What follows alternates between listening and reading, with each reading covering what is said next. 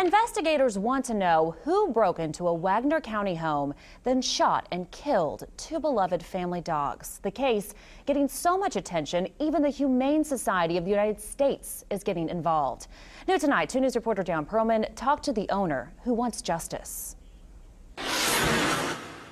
Rob Chambers lives in a very rural area about 15 miles from Locust Grove here. He says he is so upset about what happened to these two dogs he called the Humane Society.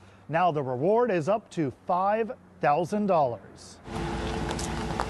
Rob pulled into his long dirt driveway. Well, I was gone for several days. And all three of his gates were open. I knew something was wrong. The first thing he saw, his dogs, shown here as puppies. Brownie was beneath the deck. She was trying to hide, it looked like. Cody was in front. Both were dead. Somebody had shot him and broke into my house and uh, stole pretty much everything I had. Several personal items were gone. Stole a picture of my uh, niece when she was five years old. But what hit Rob the hardest was what happened to his two chows. Well, there just wasn't any sense in it.